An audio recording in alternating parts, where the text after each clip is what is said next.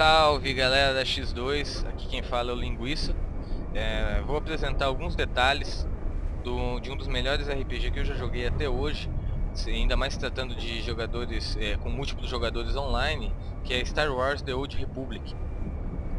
Esse é o meu personagem, né, Ordinael, já no nível 50, que é um Shadow é, que corresponde ao que seria um ladino em outros jogos de RPG. Ele tem algumas habilidades furtivas, né, como por exemplo esconder-se nas sombras para realizar ataques é, por trás dos seus inimigos, né, causando 3 a 4 vezes o dano.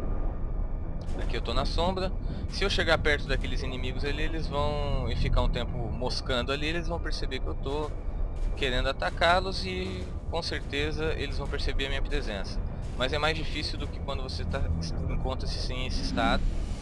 É, o Shadow, principal característica dele que me chamou a atenção é a possibilidade de poder utilizar um sabre de lâmina dupla. Que eu sou fã, né? Eu particularmente adorei o Darth Maul no episódio 1, né? O episódio mais criticado né, pelos fãs de Star Wars aí, mas o, deixou uma boa lembrança aquele sabre de lâmina, é, é sabre de lâmina dupla vermelho do Darth Maul. Eu vou apresentar rapidamente, né, para vocês terem uma ideia da qualidade do jogo, né? É uma batalha, mas antes eu gostaria de chamar a atenção para o detalhe de sombra desse jogo e alguns detalhes de gráfico. Né? Vocês podem perceber aí, é muito rico o detalhe de sombra, a gente pode perceber a movimentação perfeita que ela exerce sobre o personagem. Isso a BioWare desenvolveu muito bem. E outro detalhe que eu chamo é o detalhe para o brilho dos olhos do seu jogador. É, não sei se vocês estão conseguindo ver aí na filmagem, mas isso é um detalhe que muitos RPGs ainda, ainda mais tratando-se de é, múltiplos jogadores online, não, não levam em conta. Bom, aqui embaixo ficam as principais habilidades, cada classe tem uma, uma habilidade diferente, e eu vou dar início naqueles, é, ao ataque daqueles inimigos. Isso aqui é uma é, vantagem de atacar um golpe que sorteia ali, que atacam eles ao mesmo tempo. E apesar de estar recebendo bastante ataque, esses personagens são bem fracos, então eles não causam muito dano no, no personagem. A minha barra de sangue é essa daqui e a dos inimigos está do lado direito.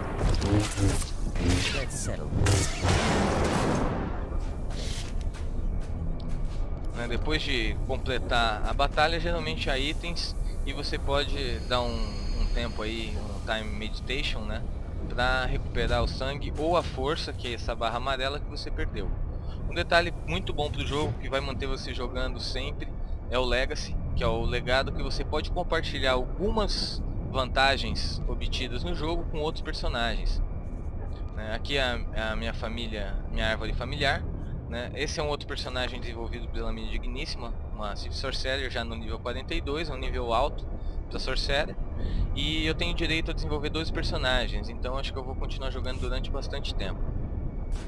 Bom, é isso aí galera, espero que tenham gostado do meu primeiro vlog aí no, no nosso blog dentro do X2 e espero continuar gravando muitos, principalmente com jogos para apresentar para vocês. Obrigado e boa noite aí. Falou, abraço.